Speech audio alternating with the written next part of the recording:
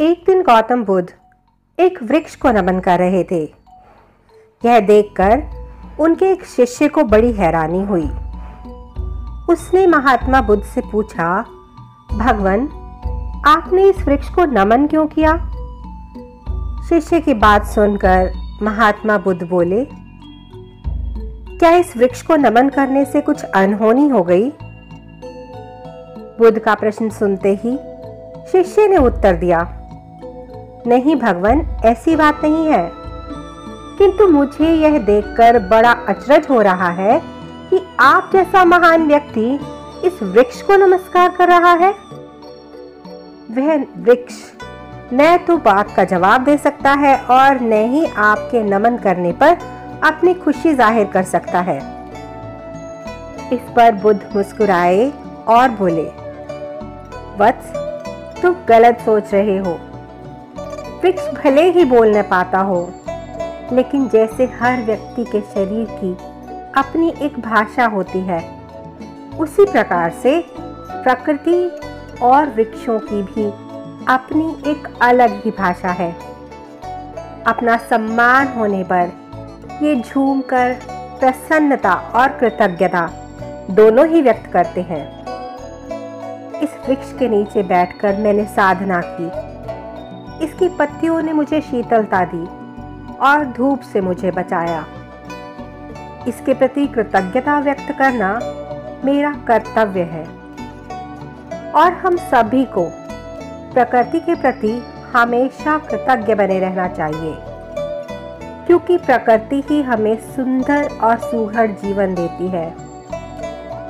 फिर शिष्य को वृक्ष की ओर देखने का इशारा करके बुद्ध बोले तुम जरा इस वृक्ष को देखो।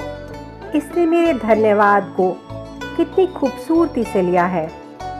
और जवाब में, यह मुझे झूम कर बता रहा है कि आगे भी वह सभी को यूँ ही अपनी सेवाएँ देता रहेगा।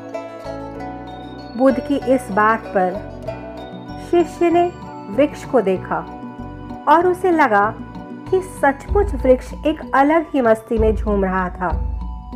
और उसकी झूमती हुई पत्तियाँ, शाखाएँ और फूल मन को एक अद्भुत शांति दे रही थी। और यह देखकर शिष्य खुद को भी वृक्ष के सामने सम्मान पूर्वक झुकाए बिना न रह सका।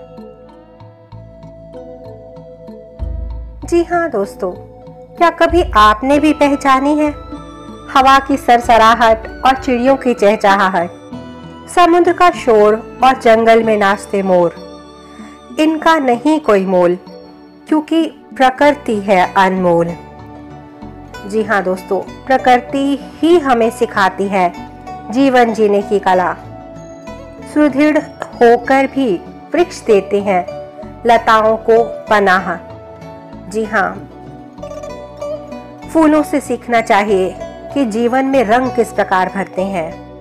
पेड़ों से सीखना चाहिए कि जीवन में ऊंचाइयों को कैसे छुआ जाता है। कलियों से सीखिए, मुस्कुराने की कला। कांटों से सीखिए, कष्टों से उबरना पत्तों से सीखिए कि मस्ती में कैसे झूमते हैं। और टहनियों से सीखिए कि दूसरों को सहारा किस प्रकार दिया जाता है। और ये प्रकृति आपको जीवन जीना सिखा देगी।